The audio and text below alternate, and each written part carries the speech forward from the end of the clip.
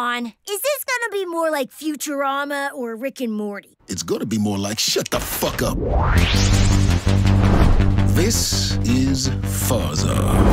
It was a peaceful planet before the evil aliens invaded. But Renzo protected his people from the aliens and their diabolical leader, Bazarak! I'm stuck to the floor! Help! Then Renzo married Queen Flammy. Totally for love, not just to gain power, even though she's a slightly older woman. Oh, yes, come on. Twerk them tits. You know what Mummy likes. Dad, what I really want is to be a general. Sure, I'll put a quote-unquote team together for you. Ha ha, you missed! Oh, yeah. Welcome to the team.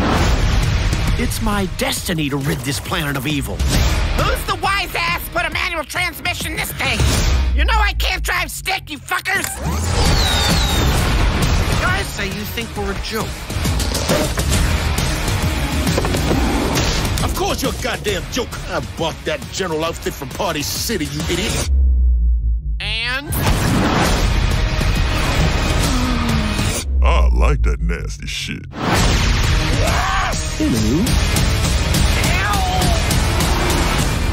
You pork this dork? You better stay on your side of the vagina. that won't be a problem.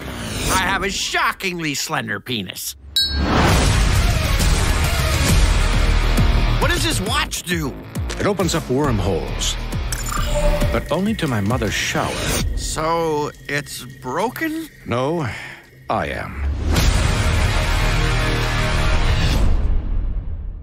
Someone roll me to my dressing room.